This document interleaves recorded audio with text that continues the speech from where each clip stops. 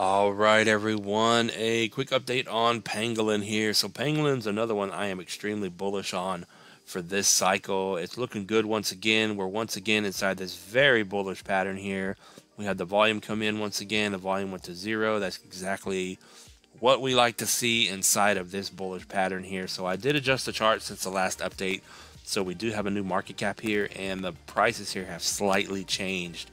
But overall, I'm trying to get the most accurate uh, levels I can for you guys to watch and for myself here. So looking at PNG once again in this consolidation in this very bullish pattern. Of course, the momentum is not in yet.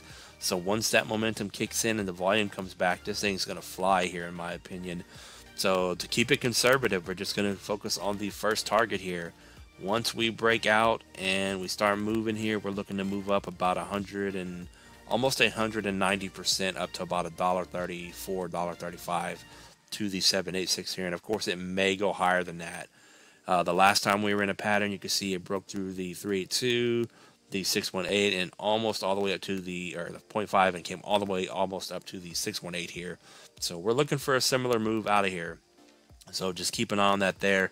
And I would say that's going to happen sooner than later here on PNG you can see that in this pattern, we're once again sitting right on the support here for the last month here, right over the 618 at 47.8 here. So as long as you're above that, expect some momentum to come in and this thing to get a nice spike to the upside here.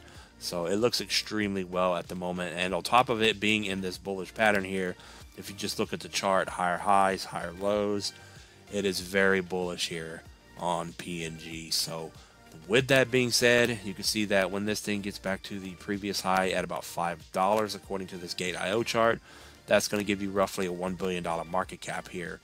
And if we break that previous high at 5, the next target I have is a $5.8 billion market cap up to the 1272 at almost $27 here.